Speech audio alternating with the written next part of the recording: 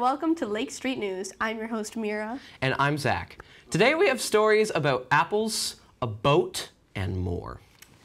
In local news, Apple Harvest Fest happened last weekend. The festival extended past the Commons onto State Street this year, stemming from the growth in both vendors and visitors. Pursuers of Apple Fest enjoyed apple cider donuts, caramel apples, apple pie, apple cider, and other apple and fall based items, as well as live music and food trucks. Visitors and organizers alike said they had a great time and hope for even more attendance next year. In other news, the Ithaca Fire Department's Deputy Chief Mike Moody announced that he plans to replace the department's current rescue boat, saying that the new watercraft will be a substantial improvement over the current one.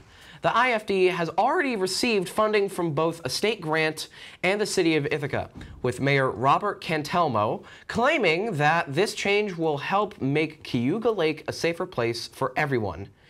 Cornell graduate student Momodou Taal was suspended recently due to his participation in a pro-Palestinian demonstration on campus on September 18th, and he's facing a possible deportation back to the United Kingdom. Taal, with more than 100 others, forced their way into the Statler Hotel in order to disrupt a career fair and protest of companies like Boeing and Lockheed Martin. These companies and many others at the career fair are currently supplying Israel in their war in the Gaza Strip. Vice President for University Relations Joel Malina said that Cornell has no powers of deportation, only those of disciplinary actions such as suspensions.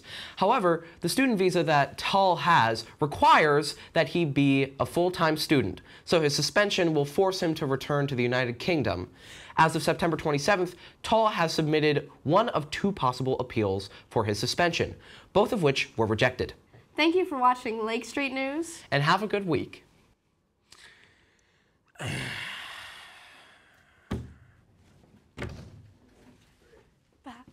That was. No, you can't join Guys, what do we banter What do we banter about? I don't know. I think we talk about um, how boring Apple Fest was.